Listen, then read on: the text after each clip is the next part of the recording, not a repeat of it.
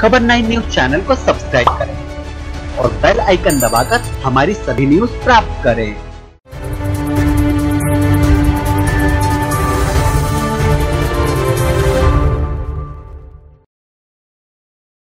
नमस्कार, आप देख रहे खबर नाइन और मैं हूँ आपके साथ प्रिया।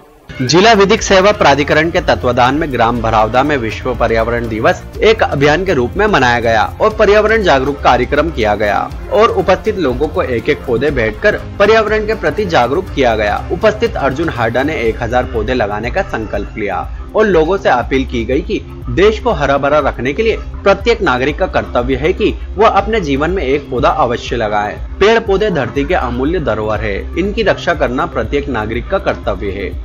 प्रति वर्ष अनुसार इस वर्ष भी पर्यावरण दिवस एक अभियान के रूप में मनाया गया और एक पर्यावरण जागरूकता कार्यक्रम कर उपस्थित लोगों को एक एक पौधा भेंट किया गया।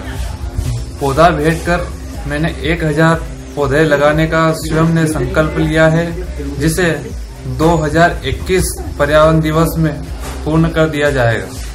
और यह एक हज़ार पौधे का जो संकल्प है यह किसी का जन्मदिन हो या विवाह समारोह हो या अन्य कोई धार्मिक गतिविधि हो उसमें कहीं पे भी जाऊँगा मैं पौधा लेकर ही जाऊँगा और पर्यावरण के प्रति लोगों को जागरूक करूँगा। सरदारपुर से मनीष चौधरी की रिपोर्ट। आज की खबरों में बस इतना ही बने रहिए हमारे साथ खबर नाइन में।